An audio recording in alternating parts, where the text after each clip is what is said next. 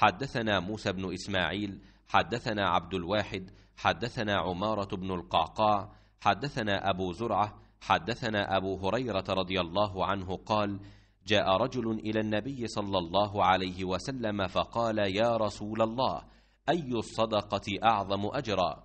قال أن تصدق وأنت صحيح شحيح تخشى الفقر وتأمل الغنى ولا تمهل حتى إذا بلغت الحلقوم قلت لفلان كذا ولفلان كذا وقد كان لفلان.